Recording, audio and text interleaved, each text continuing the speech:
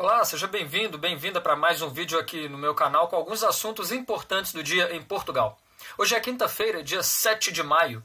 Pelos números de hoje da pandemia do novo coronavírus, divulgados pela Direção-Geral da Saúde, o país tem 1.105 mortes, 26.715 casos confirmados, 265.572 suspeitos e 2.258 recuperados.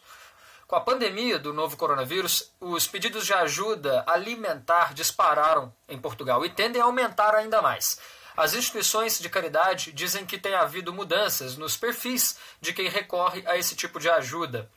Normalmente são pessoas de baixíssima renda, mesmo desempregados, que optam por ficar em filas para conseguir alimentos de graça, por não terem outra opção.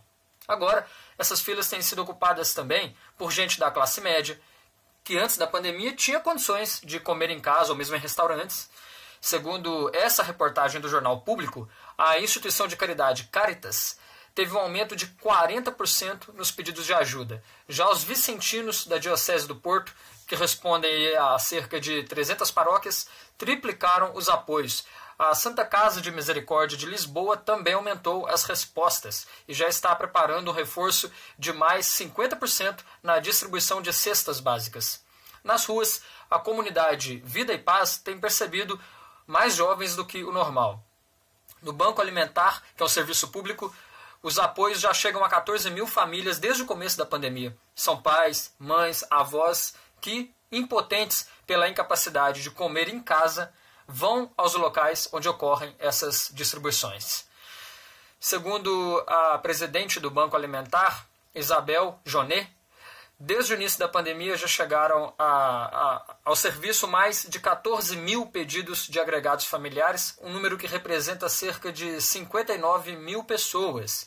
Novos casos de pobreza provocados, sobretudo, pelo desemprego de precários e de profissionais liberais que só recebem quando trabalham. Né?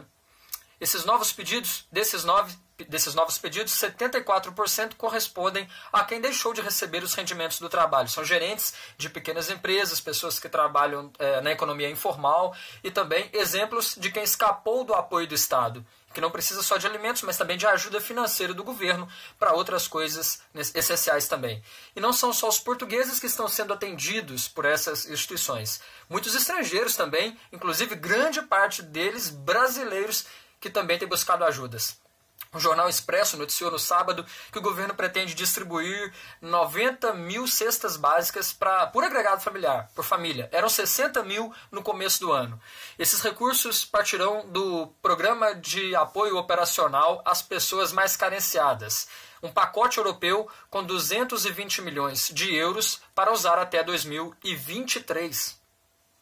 Embora não tenha dados con concretos sobre novos pedidos nas cantinas sociais, a Confederação Nacional das Instituições e Solidariedade defende a necessidade de implantar um plano de emergência que contemple refeições, distribuição de cestas, apoio domiciliar e também atendimento aí aos doentes pela Covid-19, eh, às suas famílias, com isenções de pagamentos também a instituições frequentadas por crianças, no caso dos pais desempregados.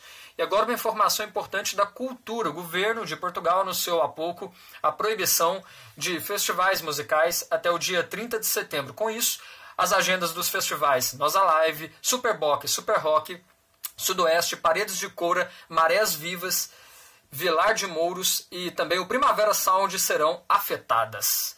Essa notícia já era esperada, isso porque na semana passada o governo é, ouviu as recomendações dos organizadores desses festivais e ficou convicto de que a eventual realização ainda neste ano desses festivais poderia ser discutida hoje é, no Conselho de Ministros, exatamente como aconteceu. Fica por aqui o resumo de hoje das informações que eu considerei mais importantes do dia, nesta quinta-feira, dia 7 de maio, em Portugal. Para não perder as próximas, se inscreva no canal, já sabe, ative as notificações também. Até mais.